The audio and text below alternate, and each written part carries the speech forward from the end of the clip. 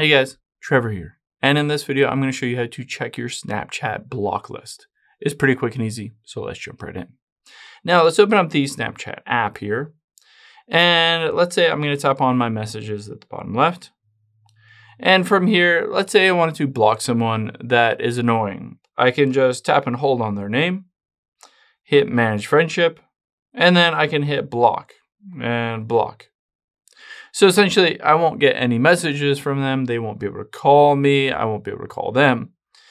But I can always find the entire list of everyone I blocked by tapping on the profile icon at the top left and then the gear icon at the top right.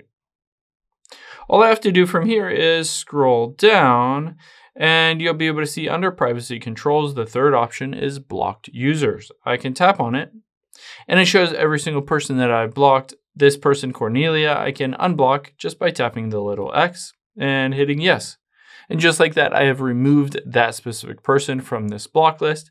They'll be able to send me messages. I can send them messages and snaps, calls, all that stuff. I hope this helps. If it did, hit the subscribe button down below. It really helps me out. And we'll catch you on the next one.